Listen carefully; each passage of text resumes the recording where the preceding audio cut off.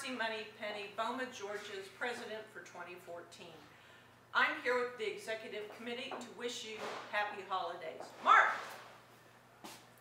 Hi everyone, Mark Dukes, 2015 president.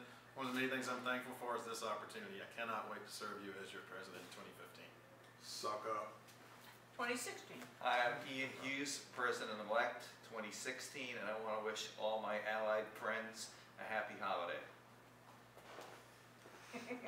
Hi, I'm Todd Mitchell, coming to a theater near you in 2017. Happy holidays, everyone.